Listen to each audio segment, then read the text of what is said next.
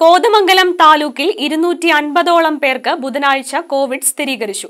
Antigen പരിശോധനയിലാണ് ഇത്രയും അധികം പേർക്ക് രോഗം സ്ഥിരീകരിച്ചത്.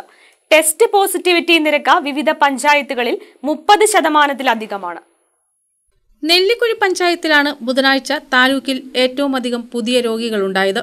ഇവിടെ നാൽപ്പത്തിമൂന്ന് പേർക്ക് കോവിഡ് സ്ഥിരീകരിച്ചു.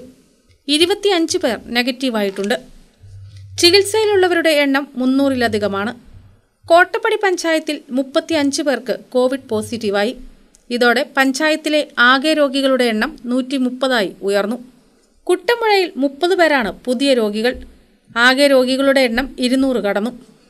പിണ്ടിമന പഞ്ചായത്തിൽ മുപ്പത് പേർക്കാണ് ബുധനാഴ്ച കോവിഡ് സ്ഥിരീകരിച്ചത്.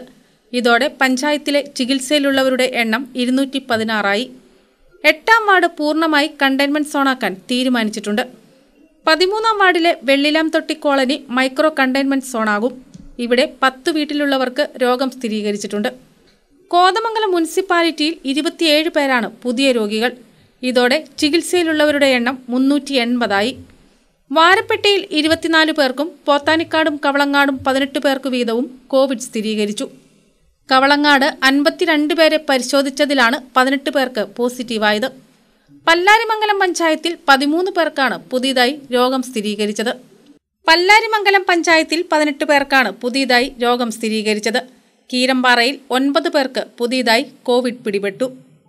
K C V news Kothamangalam.